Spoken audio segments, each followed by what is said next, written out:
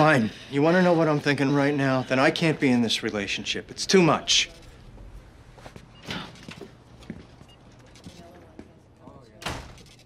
I really screwed up this time.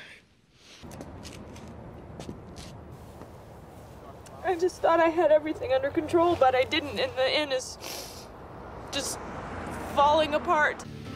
Luke. About Luke. He's gone. He hates me. I blew it. I blew everything. Please. Come.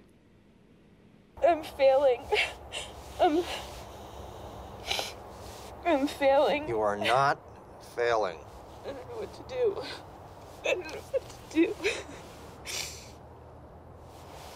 I don't know. It's okay.